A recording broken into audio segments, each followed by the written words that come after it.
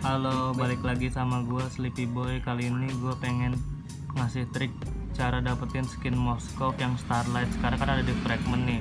Ini cara dapetinnya gratis nih. Pertama-tama lu buka shop, terus lu ke, skin dulu, ke skin dulu. Ke skin, lu klik skin Moskovnya. Lu klik skin Moskovnya, nih lu klik. Tunggu sampai selesai cakep kan cakep. Cakep lah gila. Nah habis itu lu kalau selesai gaya-gayanya balik lu ke fragment langsung ke fragment langka.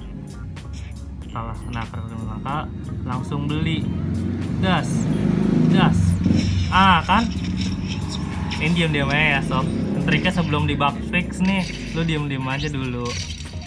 Ini ini nggak penipuan lu kalau kalau lu anggap ini penipuan lu boleh ulang lagi videonya lu lihat dari awal. Oke terima kasih. Ini trik dari gua.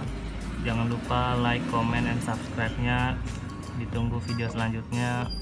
Kalau subscribe klik lonceng biar lu dapat notif dari gua. Oke sekian. Thank you